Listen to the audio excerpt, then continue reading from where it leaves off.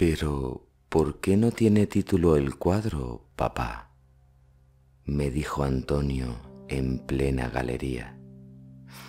Así son los artistas, hijo, le dije yo, así de caprichosos. Recordé en ese instante preciso una decrépita carta, escrita entonces de mi puño y letra, que otrora ya pertenecía a un distante pasado, una antigua y remota reminiscencia de palabras escritas que en este momento conciso se ahogaban en mi memoria. Quisiera casarme contigo, quisiera que te llames. ¿Cómo seguía? Balbucí. Ah, sí.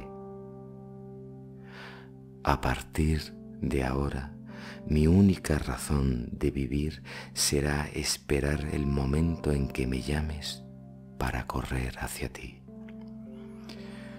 Una intensa emoción recorrió todo mi cuerpo. Sin embargo, no conseguía rememorar en mi vieja cabeza el nombre de esa mujer.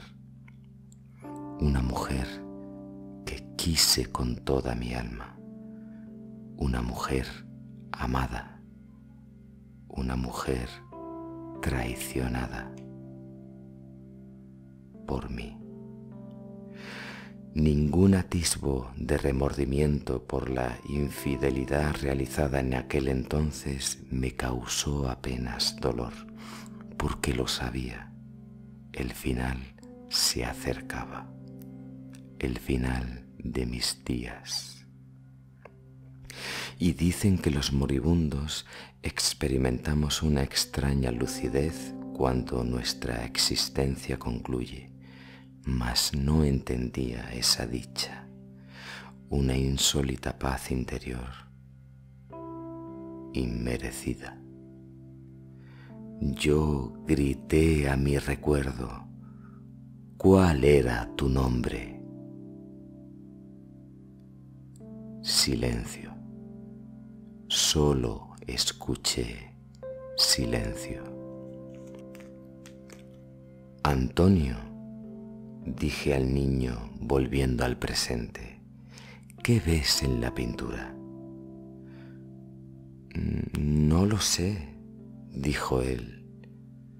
Un árbol, unas ramas negras, unos frutos como cerezas. ¿Son frutas o te parecen piedras? Pregunté yo sonriendo. Antonio entrecerró los ojos. Es que no me parece real. Nada de lo que veo es verdad, dijo. Todo se asemeja a un sueño. Muy bien, pequeño, observé. Nos estamos acercando al objetivo. ¿Qué objetivo? replicó el muchachito. Surrealismo, aseveré, el mundo de los sueños que se traslada a un lienzo, la imagen de nuestro inconsciente, la foto de nuestra mente. Proseguí. Cuando la fotografía no existía, el pintor de antaño quiso reflejar las cosas tal y como las veía, aunque no siempre fue así, y no todas las pinturas perduraron en el tiempo porque siempre hay un secreto. ¿Qué secreto, papá? dijo él. El secreto de los secretos. Equilibrio, armonía, placer, satisfacción, naturaleza. Muchos lo llamaron de esa manera, pero yo al secreto lo llamo belleza. Shakespeare lo convirtió en teatro, Lorca en poesía, Kubrick lo hizo cine, Miguel Ángel, pintura. Nureyev lo convirtió en danza. Rodin, escultura. Velázquez creó el aire. Inhotep, la pirámide. Me preguntarás ahora qué tienen todos en común. Talento, genio, facultad, condición, disposición, inspiración, afición, vocación, destreza, habilidad, práctica, experiencia, maestría, primor, oficio, industria.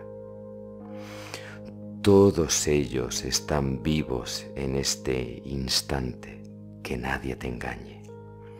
Mozart, Chopin, Bach, nunca murieron, simplemente se convirtieron en música. De la misma manera que algunas letras se convierten en palabras con arte. ¿Arte? dijo Antonio. Sí, esa es la clave, dije yo, niño inexistente. ¿Acaso no existo? dijo la voz apagándose. Los seres humanos morimos y difícilmente aspiramos a ser un recuerdo para nuestros hijos.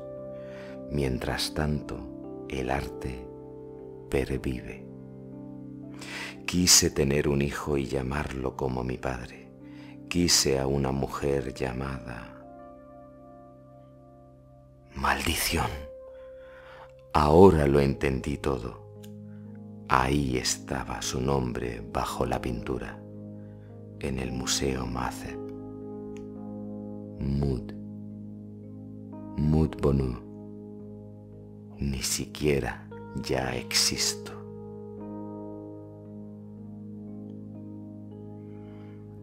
¿Me escuchas, lector? ¿Me escuchas en tu cabeza? Solo soy el recuerdo de un viejo pintor surrealista un pésimo amante y demasiado protagonista. Perdóname, Mood, si puedes oírme. Solamente soy voz hecha literatura. Lo recordé todo en ese preciso instante. Mood. Pobre de mí. ¿Qué dices, leyente?